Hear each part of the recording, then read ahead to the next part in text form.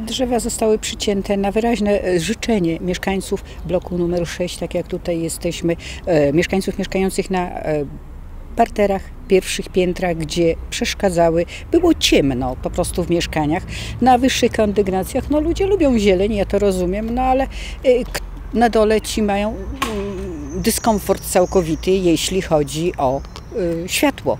No Jest to tylko prześwietlenie, żadne drzewo nie zostało uszkodzone, żadne drzewo nie uschło, żadnemu drzewu nic się nie stało. Drzewa odrosną, będą bardzo ładne, już są w dobrym stanie kondycyjnym, a będą jeszcze w lepszym na przyszły rok, będą bardziej zagajone i bardziej takie niższe, a gęściejsze w sobie.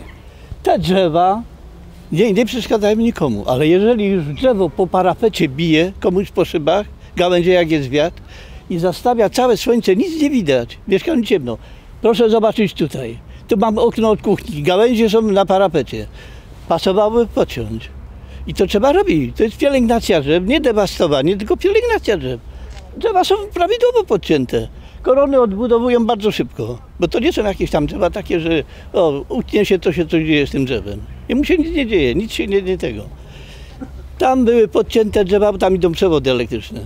Jeszcze bardziej były ścięte jak tu. Proszę zobaczyć, jakie korony tam są już. Odbudowane. Także to nic nie szkodzi i to nie jest żadna dewastacja, żadne nic, tylko po prostu jest, wie pan, pielęgnacja drzew.